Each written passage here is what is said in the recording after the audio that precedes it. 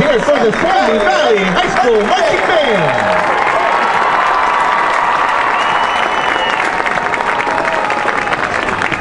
Ladies and gentlemen, try to time to look for our next prize in our program. If you can find Mr. Tryon's signature on the Starkey Law Firm ad in the program, again, that's Mr. Tryon's signature on the Starkey Law Firm ad, you have won a $25 gift certificate certificate to Carlos Trattoria. Once again, Mr. Tryon's signature on the Starkey Law Firm ad, and you win a $25 gift certificate to Carlos Trattoria. Come on up to the press box and ask for Mrs. Wolf, and she will give you that gift card. My pleasure now to turn the microphone over to the United Golden Eagles Marching Band announcer, is Jennifer Bates.